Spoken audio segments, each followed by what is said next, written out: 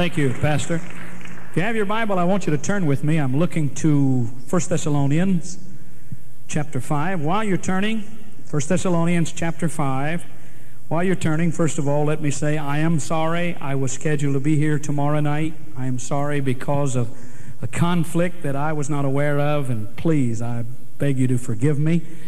Pastor, please, you've already said you had, and you'll let me come back some other time. Will you do that? Will y'all let me come back again? You won't hold it against me. You don't mind. I appreciate it kindly, and it's not, believe me, it's not my plan at all. And uh, I will look forward to other opportunities to come back and be with you. Secondly, I get tired of these pastors with their humility, don't you? I thought Pastor did an excellent job on that song. I thought he's I think he's a great singer, don't you? Is that what you want me to say? Is that what you're trying to get? See, I tell you what. Uh... All right. John Loper, is a great man of God. You're so blessed. You know that, don't you? Do I have to say that to you? You know that. And you know how blessed you are to have such a great church. Let me tell you, folks, I go all over America. I travel all over America. I go to all kinds of churches. You're blessed. I said, You're blessed. Amen. Because you have an anointing, you have a touch, you have a presence, you have a power, you have a growth pattern, you have a progression that a lot of churches, a lot of churches are dying. I mean, they're dead. Graveyard dead. D-E-A-D, dead. Ought to be buried. Anything's dead ought to be buried. Amen. Wonders, I wonder sometime why in the world they open the doors. Amen. But here there is excitement and there's progression and there's the joy of the Lord and there's the presence of God. And that's the way it ought to be. And I appreciate you so very much. Good to see some friends of mine, the Stones and the Cups, are with us tonight. I pastored them those two and a half years up the road of peace. I don't know if there's anybody else here, but if you're here, I saw them. But if anybody else is here, hello. God bless you. But I want to I want to talk tonight on a subject that I think is very pertinent for the day and hour in which we're living.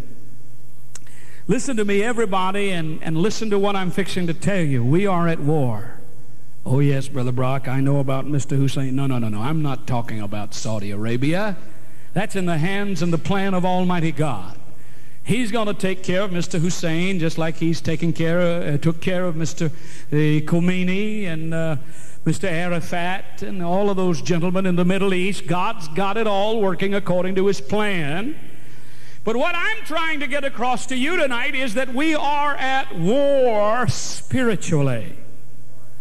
We fight a constant war. Galatians chapter 5, verse 16 and 17. You don't have to turn to it. Write it down, if you will. Walk in the Spirit, and ye shall not fulfill the lust of the flesh. For the flesh lusteth against the Spirit, and the Spirit against the flesh. And these are contrary the one to the other, so that ye cannot do the things ye would. Now, Pastor had you do this a moment ago. I'm going to ask you to do it again, not to one another, but to yourself. Reach up and grab a hold of that stuff. Okay? That's your biggest problem. I'm not talking about your waistline, I'm talking about flesh. The true Greek translated, that verse translated in the true Greek, be constantly, and here again the emphasis is upon the Spirit. Constantly conduct yourselves in the Spirit, meaning in the sphere of the Spirit. And ye shall not fulfill the cravings of the flesh. Why are we living in perilous times? Why are we living in days and hours when men are lovers of pleasure more than lovers of God? It is a desire to fulfill the lust of the flesh.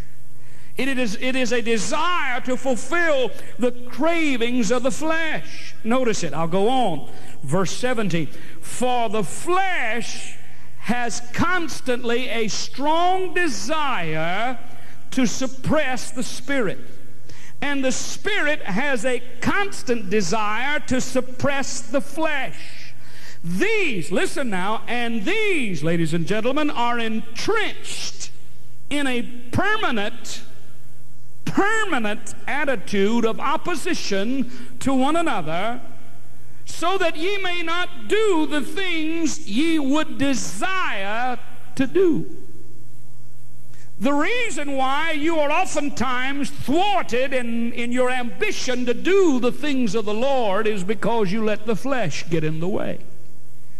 Because the flesh suppresses the move of the Spirit. Now, Brother Brock, where is, what, what are you trying to say? Jesus said it best. Spirit's willing, flesh is weak. In fact, he emphasized to his disciples coming back that third time after he had woke them up three times. He came back to them the third time, or rather the second time. Let me put it together. The second time. He told them, he said, Pray lest ye fall into temptation. The reason why he was emphasizing that thought, pray lest ye fall into temptation, is because he, the Son of God himself, had fallen into temptation. He was tempted to walk away from it all.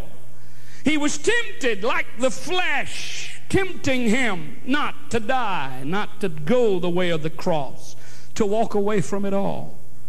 Knowing and being aware of the temptation of the flesh, he emphasized to all the saints, pray lest ye fall into temptation because the Spirit's willing, but this flesh is weak. Now, ladies and gentlemen, in the days and times and hours in which we're living, again, I emphasize, we are at war.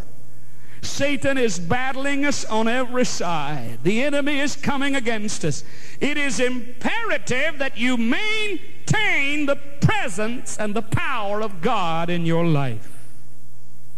It is imperative that you maintain the presence and the power of God in your life. Tonight in my message, I'm going to tell you how to maintain the presence of God in your life. There are five things found in 1 Thessalonians chapter 5. Let's begin with verse 1. But of the times and seasons, brethren, ye have no need that I write unto you. 1 Thessalonians chapter 5, verse 1. But of the times and seasons, brethren, you have no need that I write unto you. For yourselves know perfectly that the day of the Lord so cometh as a thief in the night. For when they shall say, peace and safety. Wasn't it just a few months ago that we were just like on a honeymoon? The wall had come down in Berlin. Everybody was turning toward democracy. Mr. Gorbachev was releasing his strangle on Eastern Europe.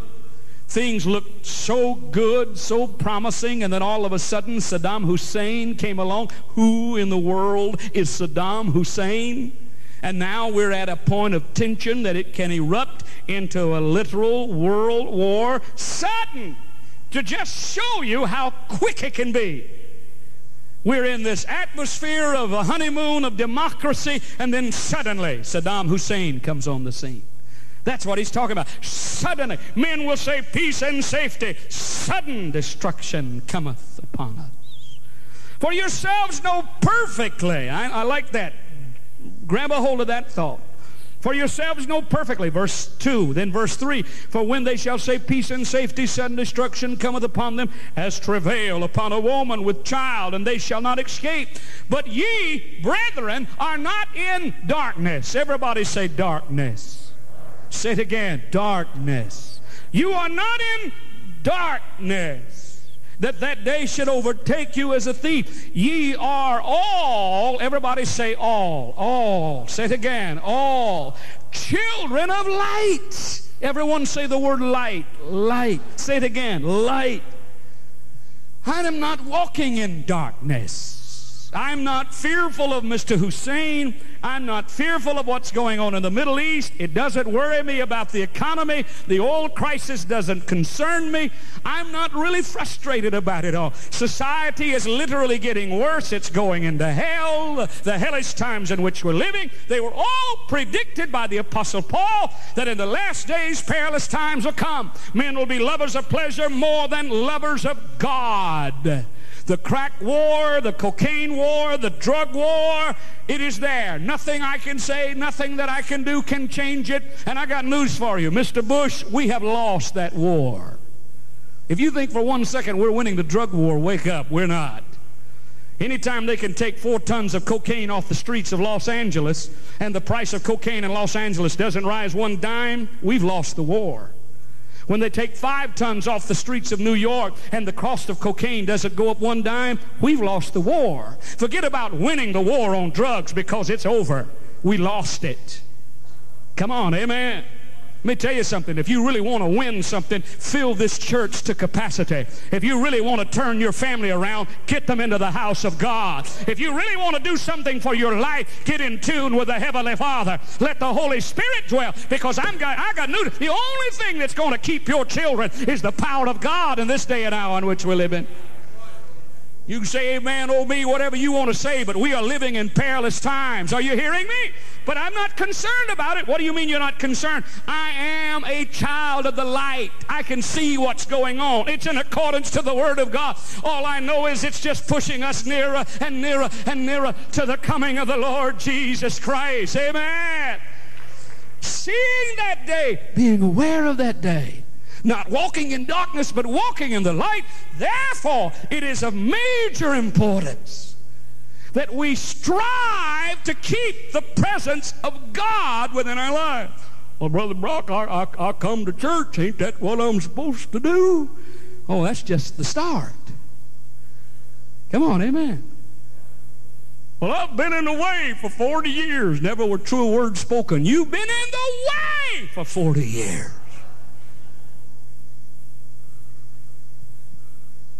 Well, I'm here, ain't I? A whole lot more to keeping the presence of God in your life than just being here. Well, I've sung in this choir for 20 years. Wonderful. But it's a whole lot more than just singing in the choir. Well, I've played the piano. Wonderful. I've testified. I've given my tithes faithfully. Wonderful. I'm a part of this great church. Wonderful. But God doesn't respond to you because you're a part of this church because you sit on a pew, because you pay a dime, because you sing in the choir, because you play an instrument, because you preach a sermon. God responds to you because of one thing. How much faith have you got? Because when you generate the right kind of faith, no problem with you being in church. When you generate the right kind of faith, you'll always pay your tithe. Come on, saints. Shout amen, oh me, whatever. I believe that with all of my heart. If you've got the right kind of faith, you'll have the right kind of attitude toward one another if you've got the right kind of progressive faith that you ought to have, not a faith that's simply occupying a little bit of space in your heart, but a faith that fills you from the top of your head to the soles of your, of your feet, you'll be a faithful choir member. You'll enjoy playing instruments. You'll enjoy the presence of God. Amen. Not only that, but you will strive to maintain his presence in your life by doing these five things. Verse 14, look with me, please. Now we exalt you, brethren. Warn them that are unruly, comfort the feeble-minded, support the weak, be patient. Number one. It's amazing how he started off with patience. Be patient toward all men. See then that none render, listen now, listen, listen carefully. See then that none render evil for evil unto any man, but ever follow that which is good both among yourselves and to all men. Secondly, rejoice evermore. If you're going to maintain the presence of God, you've got to rejoice evermore. Pray, thirdly, without ceasing. In everything give thanks, for this is the will of God in Christ Jesus concerning you. Aren't you glad he said, in everything give thanks? He didn't say, for everything give thanks, did he? He said, in everything give thanks. Now, what are you trying to say? I'm trying to tell you this. God never anticipated, not, not, God never expected you to say, thank you, God, for this storm. Do you think God, John Loper, ever, ever wanted me to say, thank you, God, for my son being killed? No. No. Thank you, God, for that storm? No. Never told me to say, thank you for it. He said, thank me in the midst of it because I will keep my hand upon you and protect you through it all. Come on, amen. He never said he'd take us from the storm. He said, I'll take you through the storm so you can give me praise in the midst, in, in the midst, not for it, but in the midst of it. Somebody shout, praise the Lord. Amen. In everything give thanks, for this is the will of God in Christ Jesus concerning you. Fourthly, quench not the Spirit. Don't do that. Despise not prophesying. Prove all things. Hold fast that which is good. And lastly, abstain from all appearance of evil. Five things you must do to maintain God's presence in your life. If you're going to make it in the rapture, you're not going to make it just simply because you're occupying a pew. I know some saints, bless their hearts, when it comes to occupying a pew or occupying the concept of holiness. I was reared in a, a church that maintained that strict holiness attitude. I knew some ladies, their hair would drag the floor, their dresses a cup over their shoes, but their tongue had stretched from here to downtown Birmingham. But when it came to holiness, they were there. Now, please don't misunderstand me. I'm not criticizing my elders. I love my elders, and I love my Pentecostal heritage. But you'd be surprised how many judges came out of that particular area. And please don't, don't misunderstand. That's one thing I love about evangelism. I can say whatever I want to say, Pastor, because I leave tomorrow morning. You have to stay. Amen. But if there's anything that perturbs me, it's for some Pentecostal believer to look down his long nose. Well, let's see if he checks out all right. Let's, let's check her out, see if she, oh, I guess okay. You're not my judge. God is my judge. Hello, amen. You can look at me any way you want to, but my father is my judge. He knows me a whole lot better than you. Well, I don't like what you're saying. Well, God bless you. There'll be another evangelist here tomorrow night. Maybe you'll like what he's saying. But you better understand and realize that you got to love me if you're going to get to heaven. Amen. You got to love one another. You got to be patient to one, toward one another. You got to have the right kind of attitude. You got to have the right kind of outlook. You've got to have the right approach to prayer. You've got to allow the Holy Spirit to have his way in your life and by all means abstain from the very appearance of evil. Anything that adds to the lustfulness of your flesh, you've got to abstain from. Let's begin with number one. Be patient one toward another, toward all men. The Greek word used in 1 Thessalonians chapter 5 verse 14 for patience denotes longanimity, a slowness to anger or passion.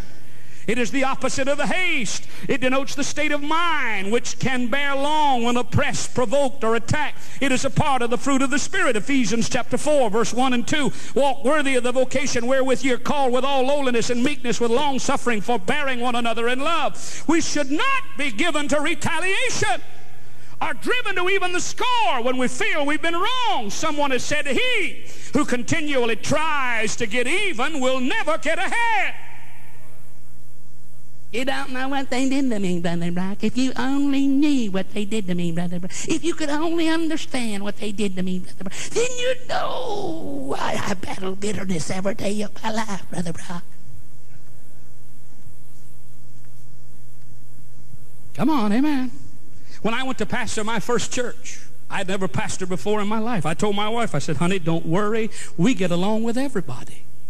Surprise, surprise, surprise. I found one dear lady, I could not, I, whatever I did, there's still pain in my fifth rib where she would stab me every chance she got. Did you know what? This man. You know what the, what the sign in sign language, you know, folks that are deaf, you know what the sign for gossip is? That's it. And that's what that lady was doing. You know what Brother Mac did? Brother Mac did And I, you know, I was just trying to be a good guy. What did I do? So I made a list. She did this, she did that, she did that. I called a friend of mine, Gene Rice, good brother. And I said, Gene, I've got a lady in my church, and I'm, I'm a new pastor, and I, I, need him to give me some wisdom and strength how to handle this situation. And I said, Gene, this lady has done this, and this lady's done that. She's done this, done this, done that, done this. I said, Gene, what do you think I ought to do about it? He said, ignore her. Ignore her! You want me to ignore her? I want to kick her out the door. I'm going to take it before the Lord. I'm going to, Brock, Steve, listen. What? Have you prayed about it? Well, uh, no. You've not prayed about it? No. Pray about it. So I started praying. When I did, I began to see the lady as she was. Here was a dear soul who hated herself and wanted everybody to hate ourselves, hate themselves. Misery wants company. Hello, are you hearing what I'm saying? So I decided that the best way I could overcome her evil was with my good. So every time I saw her, I'd say, Hello, I love you. Now, Brother Brock, that's being hypocritical. No, I knew how much I'd prayed over that lady. I knew whether I loved her or not. I said, Dear lady, I love you. When she'd go out the door, I felt better as I did. She'd walk out the door coming out of church. Love you. I'd be up preaching in the pulpit and, and I'd be saying, Oh, how God loves us. And I love all of you wonderful people. I especially love you. I'd see her in the mall. She'd be across, all the way across the mall. I said, Hey, I love you.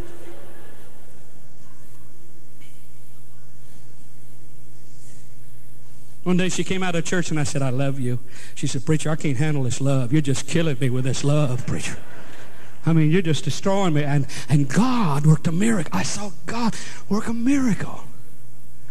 Oh, don't you love to just do that? Yeah, I do. Course, I, I know, I, I, heard the story one time of one fellow who had, was meanest guy in his neighborhood. Meanest guy in his neighborhood. I mean, he was mean. He fought with every neighbor he had. One neighbor in particular, he fought with him all the time. And this old man got saved. And he listened to the preacher preach one Sunday morning, and the preacher said, Do good to them that hate you and say all manner of evil against you. Because when you do, you heap coals of fire upon their head. That brother went home and saw the other fellow had, had it was gone. So he quickly got out, got on his lawnmower, and cut his grass.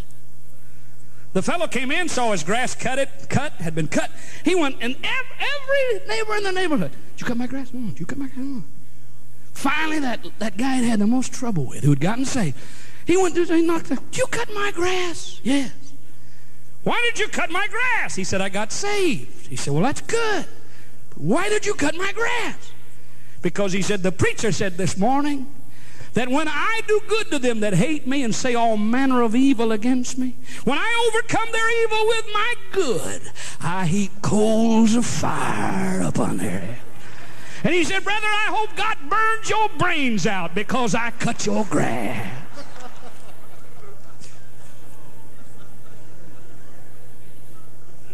It's not exactly what God was intending. What he is intending for us to understand that he who continually tries to get even will never get ahead. Brother Brock, you don't know what they did. Doesn't matter what they did. Put it under the blood. I'm going to say that one more time. Put it under the blood.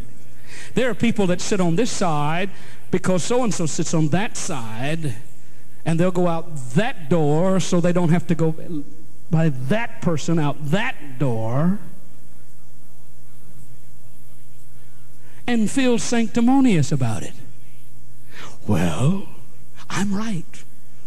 They're wrong. You're both wrong.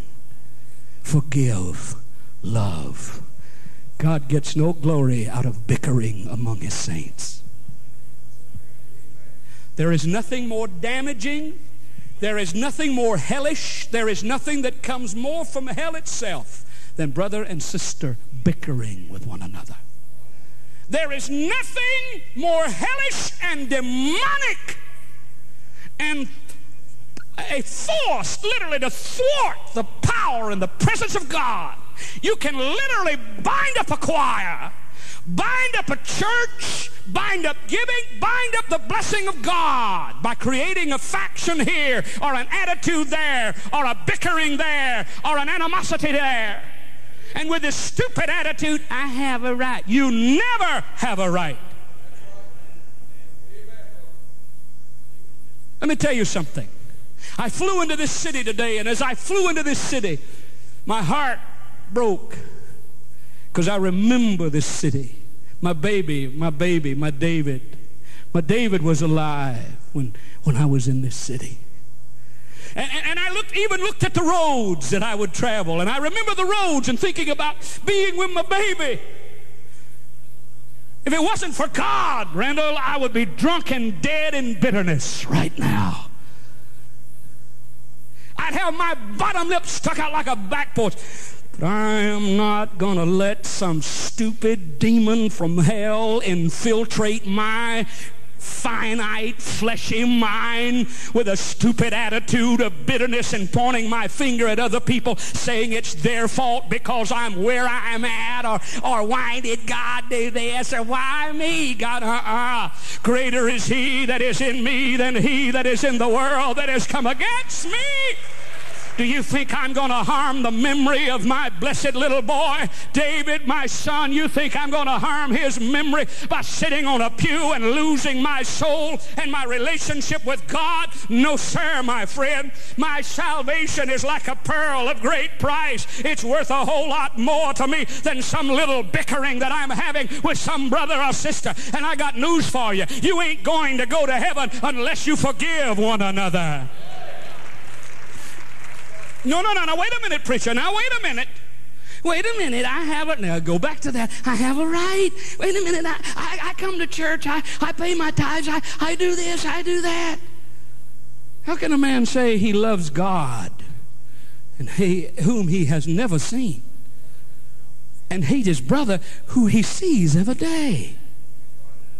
If we harbor unforgiveness, he said, if you will not forgive, I won't forgive you. I think that becomes number one, doesn't it?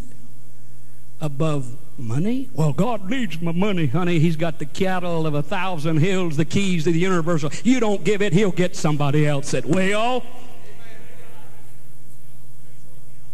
I get amused at these people. You, you better pray for me. I'm feeling a mean streak coming right now. They come in and sit on your pew. I got money, preacher. I got money. Now, you do this, and I'll pay this whole thing off. I'm preaching it, brother. You hang on. Usually his wife is obese, and she's really the power behind the throne. You go tell him what I said.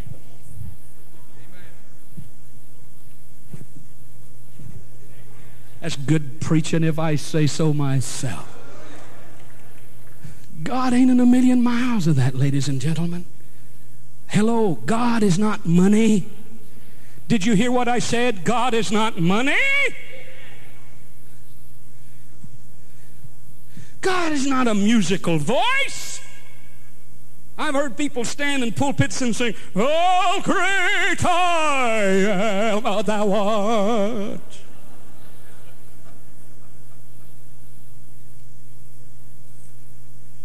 I tell you, I'm stirred. My heart is stirred. I've been stirred for the last few months. I want to rip me apart. I want to fall before God. I want God to touch me. We are nearing the coming of the Lord Jesus Christ. These little petty feelings, these impatient attitudes that we have. Well, I'm just the kind of a person that speaks their piece. I say what I want to say, regardless of what it hurts or who it hurts.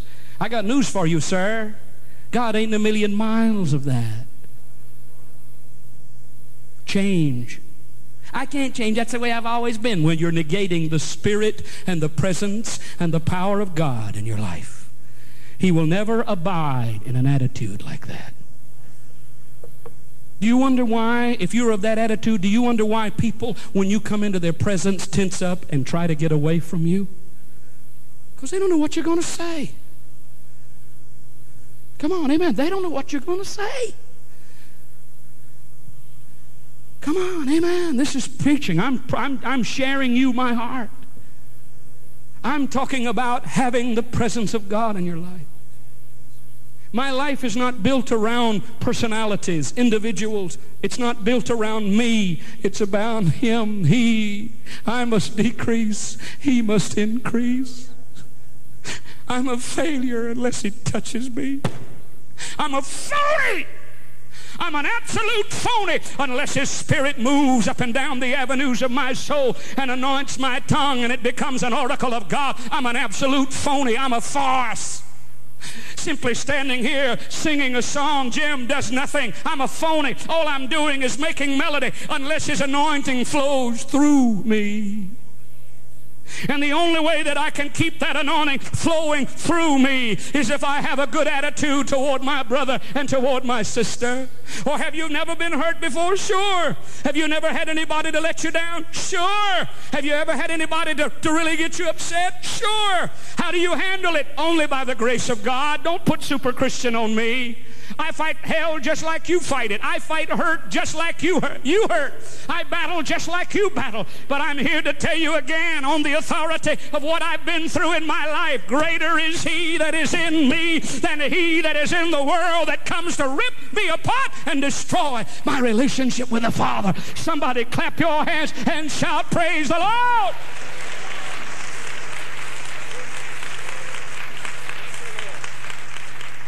Oh, Jesus, help me to preach this message, Lord, like I feel it upon my soul. Remember that when we lose patience with an individual, we also lose our influence upon them. You destroy it within an instant of a few words. An unguarded word, an attitude exposed I just can't forgive, then you're negating the blood of Jesus Christ in your life. You don't know what my dad did to me, Brother Brock. No, I don't. But I know a God that can wrap you in his love. You don't know what my brother and my sister did to me. No, I don't.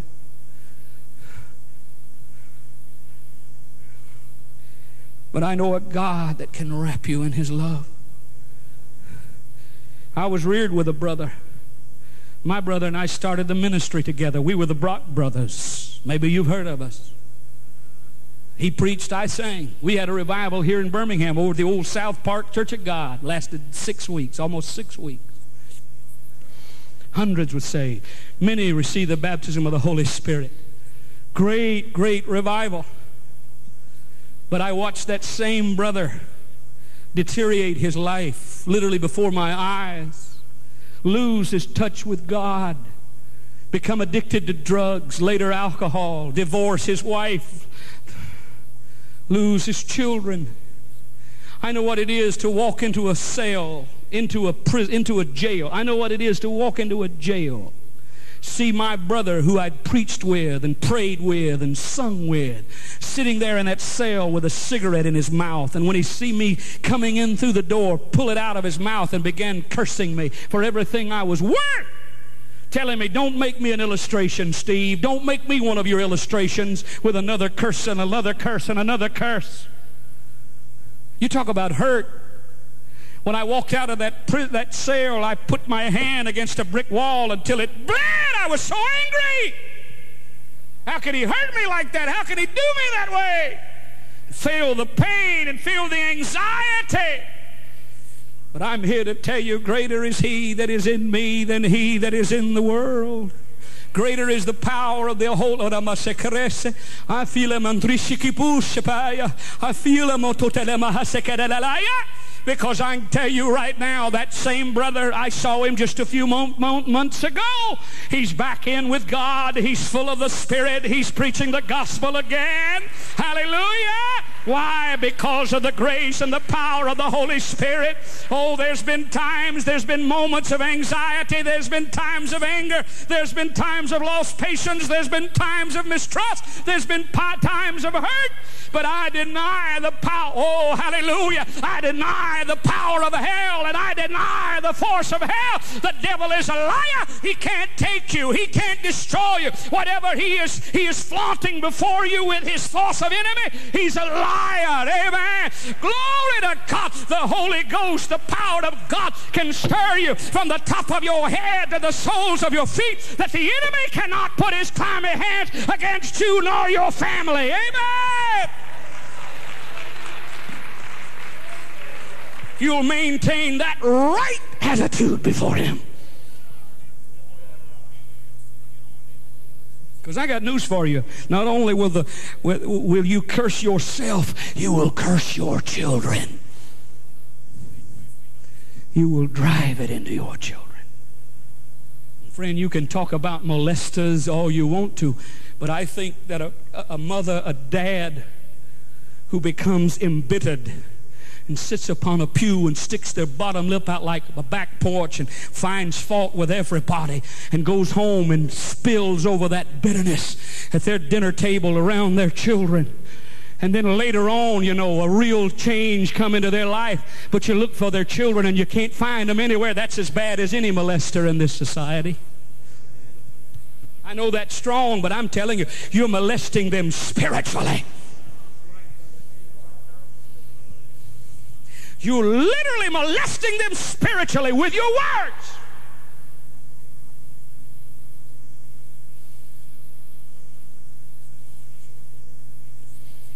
The abundance of the heart, the mouth speaketh. And the only words they hear is your words. The only words they attune to is the words you speak. How much better is it, my friend, than to sit by your child? Them knowing that someone has done you wrong. And them look at you and say, Dad, they did this, or Mom, they did that. And for you to say, Yes, hon, but I love them. And God will take care of them. And then to watch God, through the power of the Holy Spirit, turn that hurtful, painful situation around to where that same child can see mom or dad wrapping their arms around that hurtful situation and forgiveness flow freely. And they understand the true meaning of the word forgive.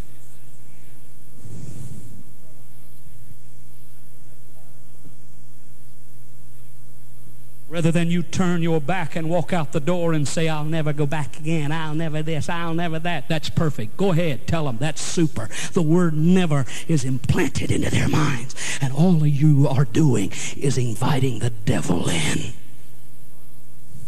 For whenever you say never, and whenever you say, I hold them in jeopardy, or I hold them in enmity. I hold them in distrust. I will not forgive them. You sever the covenant with God.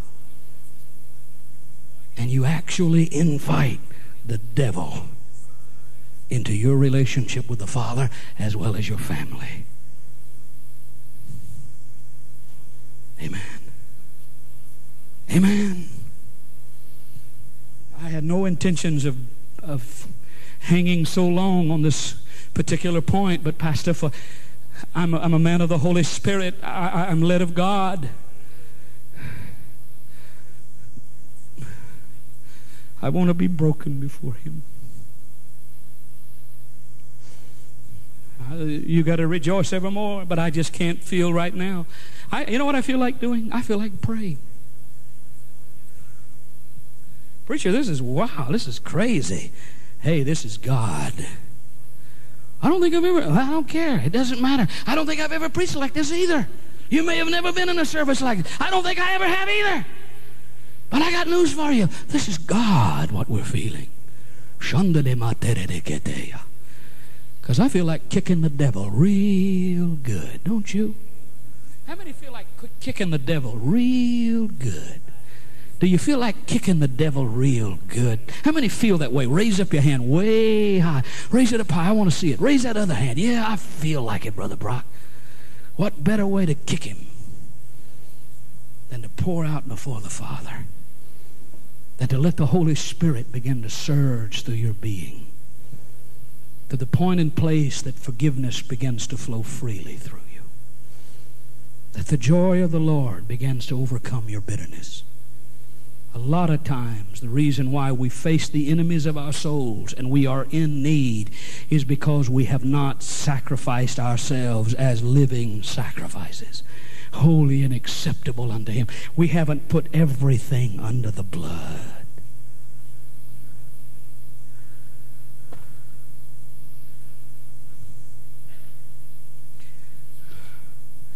What was that song? Lead me, Lord, I'll follow.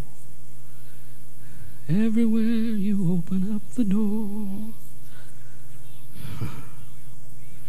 Ah, Join hands. Come to the instruments. I'm through preaching. Where's your words at? Play that song. Day stars shine down on me.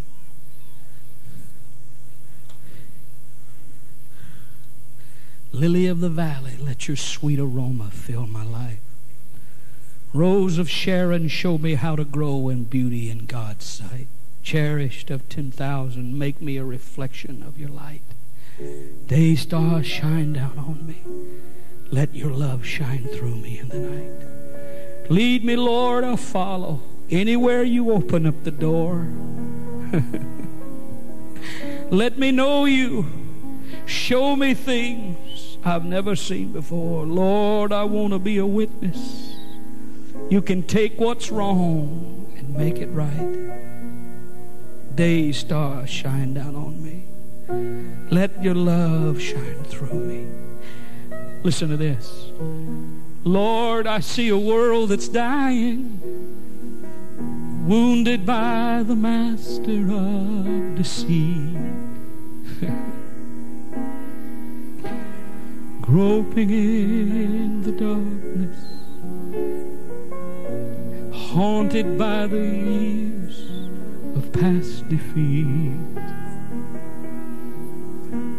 But then I But then I see you standing near me, shining with compassion in your eyes.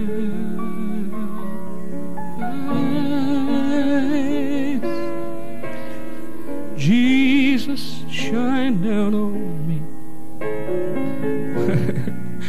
Let your love shine through me in the night.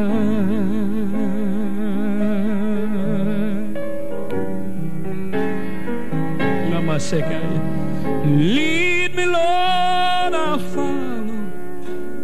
Anywhere you open up the door.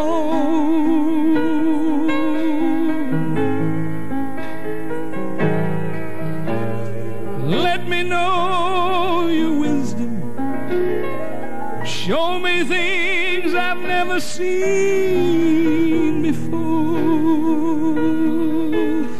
Oh. Lord, I want to be a witness. Why you can make everything that's wrong turn out right.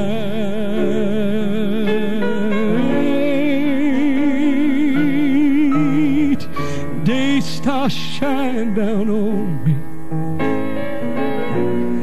Let your love shine through me in the night. Let me sing that last second verse one more time. I, I feel God. Day stars shine down on me.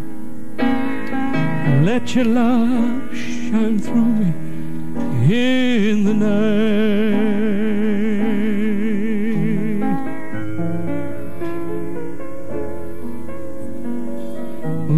I see a family dying, wounded by the master of deceit.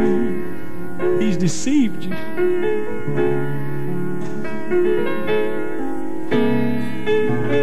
Groping in the darkness, haunted by the years of past defeat.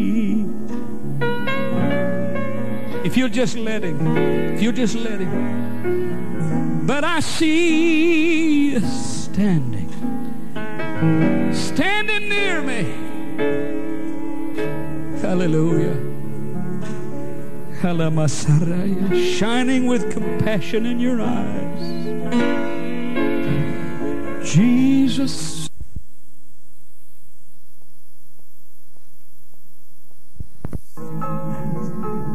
Your love shine through me in the night. Stand to your feet with me, and I want you to lift your hands and let this be your prayer. Come on, lift your hands to it. Lord, me, Lord, I'll follow. Anywhere you open up the door.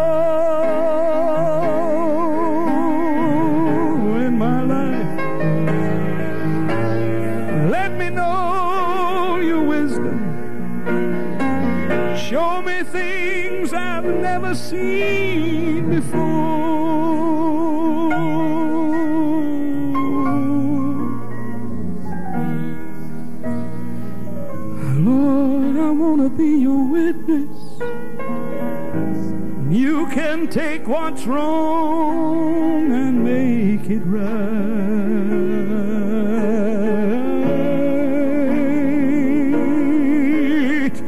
Day stars shine down on me. Let your love shine through me in the night. I want you with your hands just lifted before the Father for a few moments. I want you to just begin worshiping Him. Right now, just right where you are, just begin worshiping Him. Worship Him now. Come on, worship Him. Worship the Lord. Center your mind on Him because God's going to move into this house. Pastor, I feel like there's going to be deliverance. I feel like chains are going to be broken. I feel like families are going to be stirred. I feel like hearts are going to be challenged. Give me the key of B flat, will you please? And I want you to sing this song with me. B flat, sing it. Hallelujah. Hallelujah. God bless this man. Come and stand with me, my brother. Stand with your family here. Yes. Hallelujah. Look at this. Sweet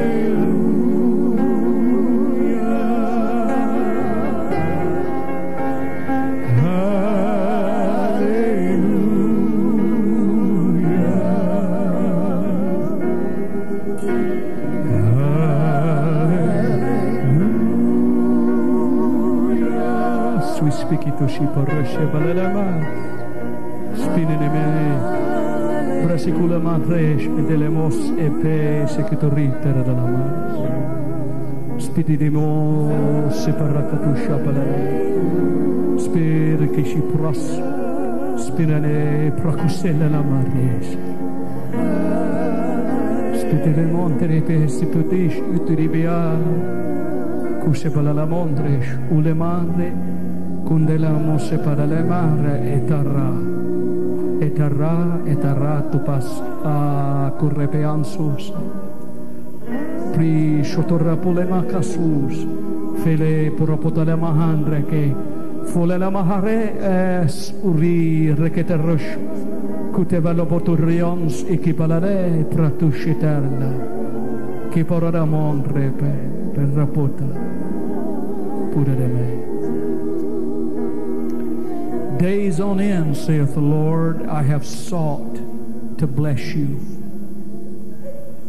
Days on end, I have sought to touch you. Keep playing, don't stop it. The Spirit is moving. I have sought to change you, but you won't listen to me. You listen only to your flesh and to yourself. You hear only what the flesh has to say. And, and I, the Lord God, and my spirit, and all the power of heaven cannot penetrate you because you see only what your flesh sees. You will not, you will not catch the vision that I desire to, to reveal before you and, and to show you what a mighty individual you can be for my honor and for my glory because you see only what the flesh sees. Hear me, saith the Lord, cast it down, crucify it, walk away from it. For it will be that flesh that will destroy your children. It will be that flesh that will destroy your home. It will be that flesh that will destroy your relationship with me, saith the Lord. Heed my voice. Obey me. Obey me. Now I'm going to tell you what the Holy Ghost is telling me to tell you. There's some of you that God has spoken to individually. And he is telling you to come back to him and repent. You've harbored some feelings in your heart. You've let the enemy destroy you with those feelings, separate you from God. You've, you've caused some, it's caused bitterness to come into your heart. You're not where you once was with the Father. There is some unforgiveness there. And the Holy Spirit is telling me to tell you, get it under the blood tonight. If nothing else happens in this camp meeting, God brought me here tonight to preach this message. What I'm sharing to somebody in this audience. And I'm going to tell you something. Never in my life have I ever had such a greater anointing than I've had tonight. I have preached under the anointing.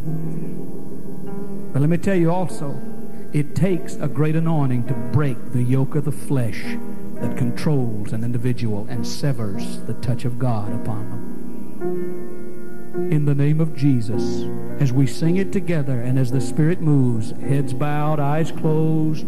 Ladies and gentlemen, sing it with your eyes closed. Sing it so the anointing can flow. See, the anointing wants to flow. I want no one moving, no one leaving. Dear God, if there's anything, don't leave. Don't interrupt the flow. Children, be still. Mom, keep your children still. Dad, keep the kids still. No one moving. But I want us to sing it. And as we sing it, if the Holy Ghost, and I, it's not if, since the Holy Ghost, let me put it that way, since the Holy Ghost has spoke to you directly, get out from your seat right now as we sing. Hallelujah. I'm ready to break the yoke, Brother Brock. I'm ready to break that yoke that the devil's put on me. It's interrupted the flow of God in my life, and I know it. I know it. And I'm ready to break the yoke. I'm ready to break the yoke. The enemy has bound me with it, and I'm tired of it. In the name of Jesus, get out from your seat. God's going to set you free right now in the name of Jesus. Come on. Come on, I'm waiting on you.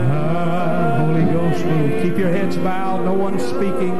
Please, just singing this song. I want the anointing to flow. I want the anointing to flow. Devil in hell, I rebuke you in the name of Jesus. Come on, right now. There are others. They're not all here, and I know it. Come on, right now. Come on, right now, right now, right now. It may be in your family. You may have a problem in your family that you can't get forgiveness over. You, you can't just find the forgiveness in your heart. Maybe you were molested by your dad or your grandfather. I had a minister friend of mine to tell me that his dad molested his daughter. And he was tearing him apart. And I cried with him. I remember I cried with him. I cried with him until he could get to the place he could forgive. Because it was severing his relationship with God. Stand back. God's moving in this house. Come on, ladies and gentlemen. In the name of Jesus, heads bowed, eyes closed. Please keep singing. Holy Ghost, anoint us. Hallelujah.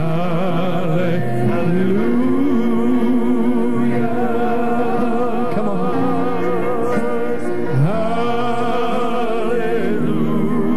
Come on. Come on, I'm waiting. Come on, I'm waiting. There are others, quickly. There are others. There are others. Come on, come on, yes, come on. Right now, I'm ready to get it under the blood. Come on, come on. We're going to get it under the blood tonight. I'm going to pray for you, and the Holy Ghost is going to come on you. Come on, right now. Hallelujah.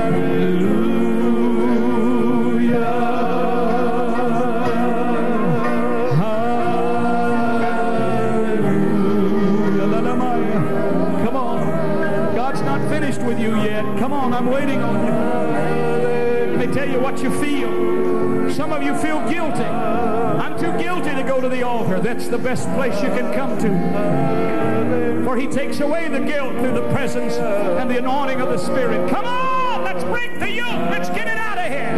Hallelujah. Let's get it off of your back. Let's get deliverance in the name of Jesus. Come on, keep coming. Keep coming. Heads bowed, eyes closed. Saints still worshiping. Saints still worshiping. Hallelujah.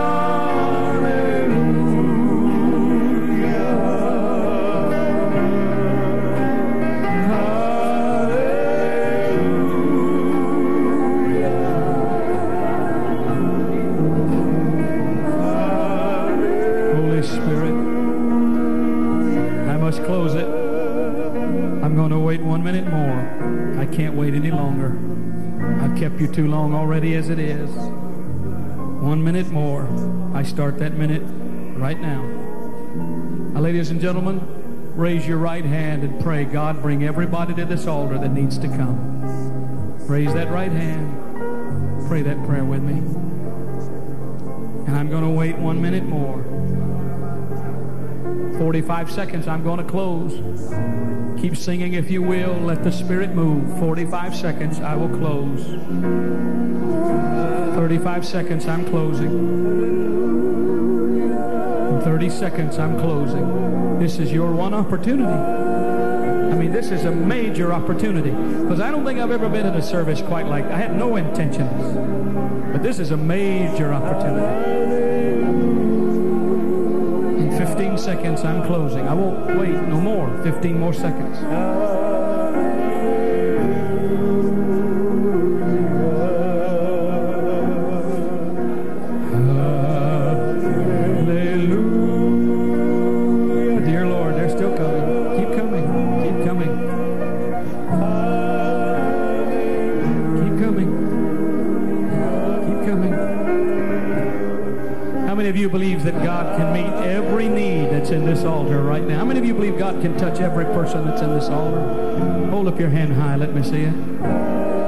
For a few moments, if you will, just get out from your seat, come and kneel around these, will you?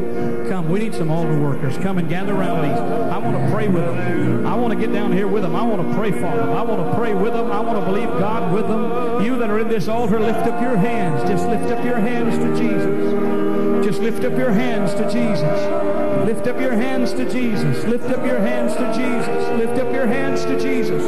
Come on, gather in. Gather around these.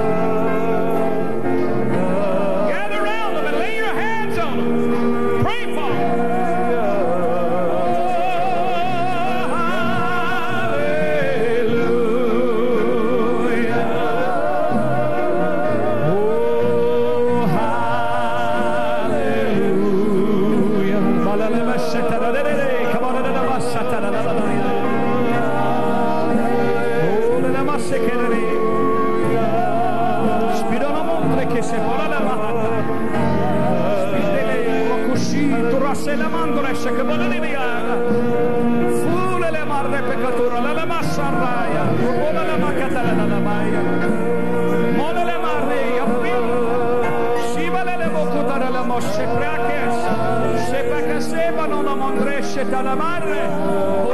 che tu si dà la del la maia.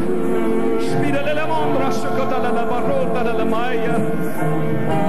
Hallelujah, hallelujah. Come on, don't stop praying. Keep praying. Keep praying for a few minutes more. Keep praying, keep praying. Keep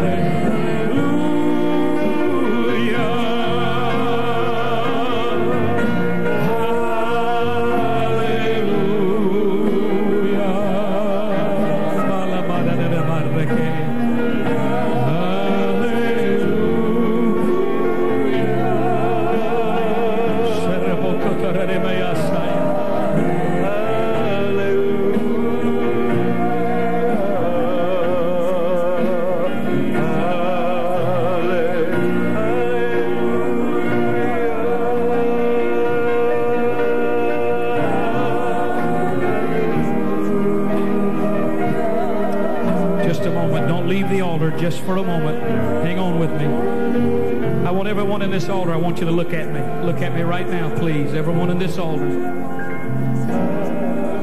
I want every individual in this altar, Brother Brock. I have felt bound. I have been literally bound by a feeling of bitterness or unforgiveness. And I want total freedom tonight. I want you to stand. Every one of you that are in this altar and you're of that particular attitude, stand to your feet right now in the name of Christ. Right now, right now in the name of Jesus. I'm going to tell you something. The devil is a liar, and God's going to set every one of you free tonight. How many believes God can set every one of these people free tonight? How many believes that God can set every one of these people free tonight? Shout amen, will you? I want to come down this line. I want to come down this altar and I want to pray for every one of you. I'm going to pray, an anointing will fly. I feel, and I felt that in my spirit. I felt this anointing to preach this message. And in feeling the anointing to preach the message, I feel the anointing to lay my hands upon you in deliverance too. My brother, the Holy Spirit is speakara, spikitiro mosekere, spikarura masara, fotare mosepelene mokutri shutru ses, frasotala lamar. For the enemy has come against you and deceived you. The enemy has blinded you as a person who is blind physically, but you have been blind spiritually, saith the Lord. You have allowed the enemy to infiltrate your mind and your ears and your heart.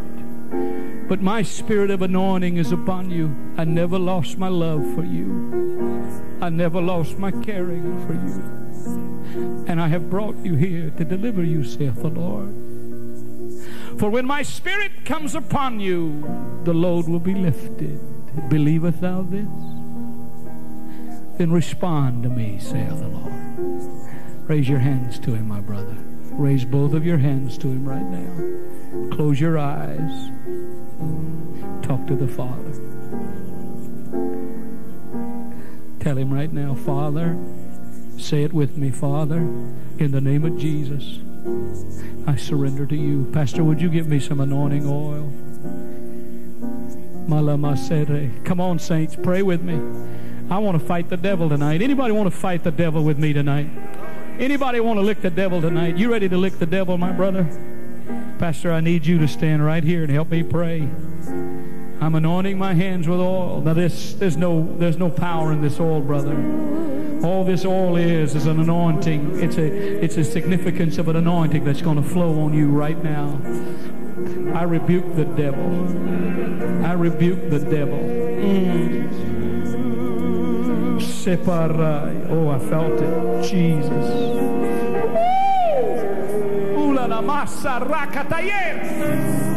Deliver him, Holy Spirit. Touch him from the top of his head to the soles of his feet.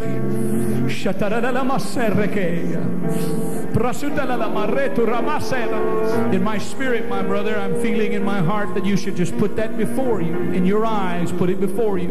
What you've been battling, put it before you. Put it before you right now, eyes closed, and say, Right now, I forgive. And I give it to you, Father.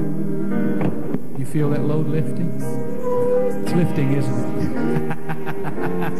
it's lifting, isn't it? Come on, Ted. Begin praising the Lord now with me. Hallelujah. Come on, begin praising the There, there's the Holy Spirit. God, it's in your hand. It's in your hands. Come on, somebody shout, Praise the Lord with me. Somebody shout, Praise the Lord with me. Darling, raise your hands to Jesus with me, honey. God's ministering to your life right now. Father, I anoint her with oil. In the name of Jesus, let your spirit rest upon her. Right now, in the name of Jesus, let your anointing flow.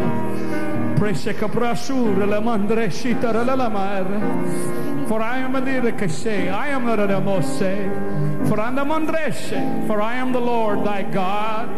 I have heard your prayer. You've called upon me in the midnight hour. The enemy has come and blinded you in times, and you have thought to yourself, I'm alone, God's not near me. But my child, in those moments when you thought I wasn't near, my hand was shaking. I was just a nickel prayer, just a whisper I'm just a whisper away. Hallelujah. Woo! Raise your hands, lady. Sister Brenda, look at me. Spiritu toshe. The talamayari esebolalai in presamotere in the. I have a word from the Lord for you. As you sat here before me, I saw you. As you sat here before me, I understood you. Saith the Lord. Thy commitment has been great. And thou hast been faithful unto me, saith the Lord. The enemy has come against you in many ways, but he's a liar. Is a liar. My child, I have never allowed your foot to hit against a stone and stumble, but I have kept you in the palm of my hand and etched you there. And the enemy that has come against you in these forces and in these ways to challenge your mind and make you think I'm alone, but am I? he is a liar and my spirit rest upon you, saith the Lord. I shall take that heartache away.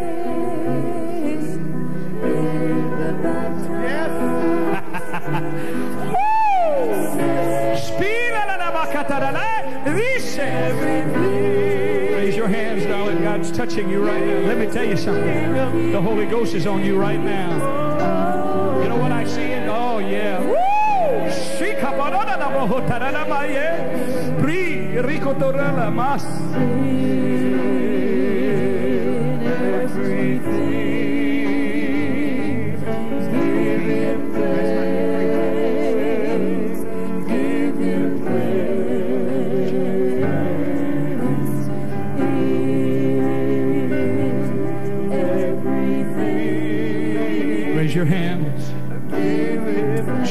tell you something.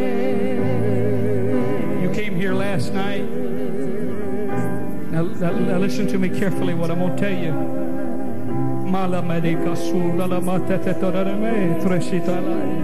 You came here last night, you walked away, but those devils are still all about you. The Holy Spirit, as Pastor was relating to me your story, the Holy Spirit said the devils are still all about her.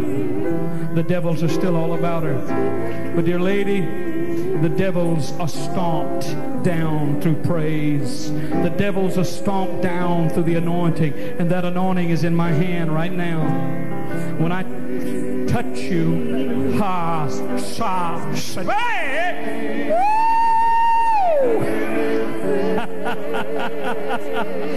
Devils, leave.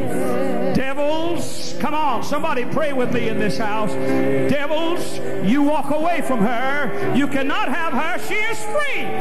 In the name of Jesus, she is free. There it is, Sarah. There it is.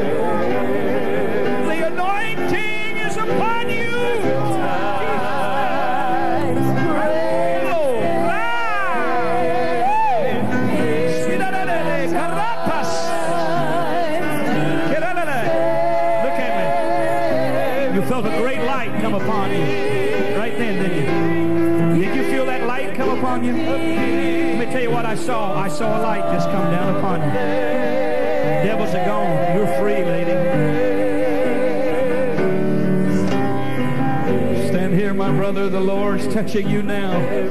Raise up your hands to Jesus. For the Spirit would say to you, you are free. The doubt that I'm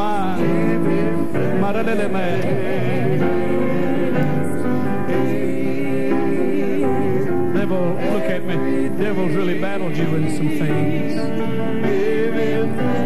There's some attitudes that the enemy has tried to infiltrate in your mind. Some people have hurt you. Some distrust. There's been some distrust that's come up. It's hard for you to trust people. Am I right? or wrong? Am I right? I'm not a psychic. I'm just trying to be led by the Holy Spirit. Don't look at me to be able to tell you your name, where you live. I'm not that. No. But I, I see that in my spirit and I feel that in my heart. You know what the Holy Spirit is telling me? The Holy Spirit is telling me to tell you, trust Him. Trust Him. People will fail you. He who is the greatest, the great I am, will never fail you. He'll restore the joy. There's some joy that's seeped out of you. There once was a better joy than there is right now. There once was a greater fervor to live for God than there is right now. In fact, you've really been battling in that area. Am I right? You believe God can touch you? Raise your hands to Him. Somebody pray with me. Speak, Holy Ghost. Speak, Holy Ghost. Pastor, lay your hand on him. The deliverance is coming through you. That anointing is coming through you, Pastor.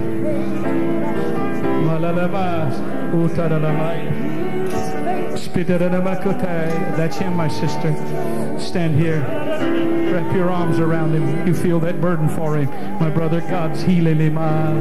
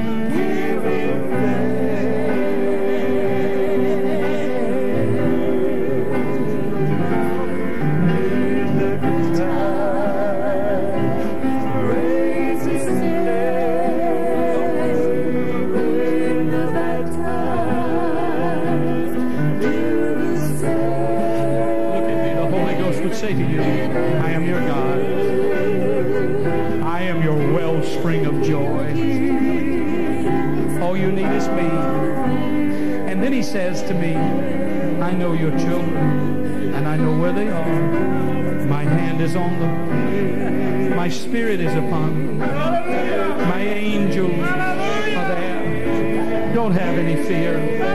For as you faithfully serve me And not only let the words come out. Let the words come. Let the anointing flow. Stand up here, my sister. Stand up here with system,